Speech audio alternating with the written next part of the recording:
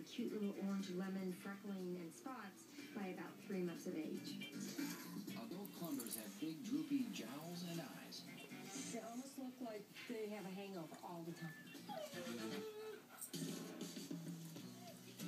Deb Mullen got a Clumber Spaniel three years ago, but her dog, named Oma, is much more than a pet.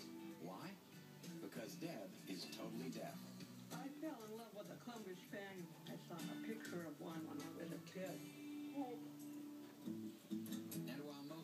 Associate service dogs as assisting the blind, 10% of them are actually trained to help the hearing impaired.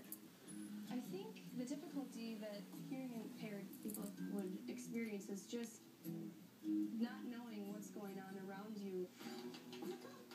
When Deb, who can read lips, told people she wanted a Clumber as a service dog, she was met with a lot of resistance. A lot of people told me that a Clumber Spaniel would not make a good service dog.